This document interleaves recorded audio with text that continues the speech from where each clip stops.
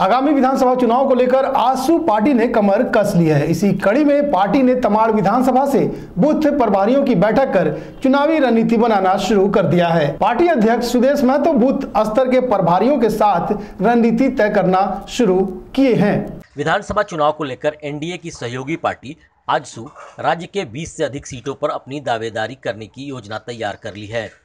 जमीनी स्तर पर वोटरों तक पहुंचकर पार्टी और राज्य हित में किस तरीके से बातचीत की जाएगी, इसके लिए बूथ स्तरीय कमेटी का गठन किया गया है। इसका नाम चूल्हा प्रमुख रखा गया है।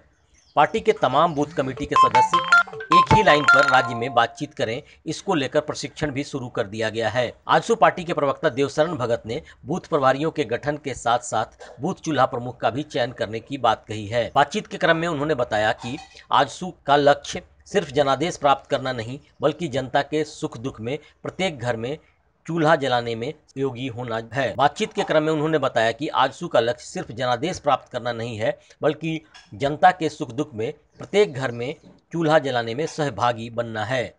पूरे तमाम विधानसभा के सभी बूथ प्रभारियों के साथ समीक्षा बैठक है और अगले विधानसभा चुनाव की हर बूथ की मजबूती को लेकर के विशेष रूप से सबसे प्रभारियों से समीक्षा की जाएगी। खासकर पार्टी के विचार को, पार्टी की सोच को जन जन तक पहुँचाने का, हर परिवार तक विचार को पहुँचाने का, पार्टी के विचार को अस्थायित्व देने का बूथ प्रभारियों के माध्यम से किया जाएगा।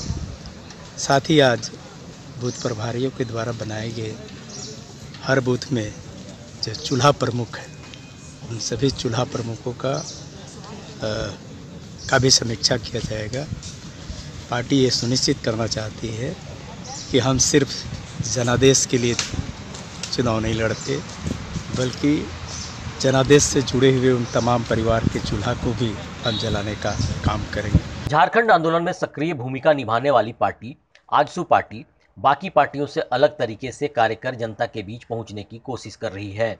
ऐसे में पार्टी की रणनीति सिर्फ़ ज़्यादा से ज़्यादा सीटों पर अपनी पकड़ बनाना ही नहीं, बल्कि राज्य के गंभीर मुद्दों पर सक्रिय होकर कार्य करना है।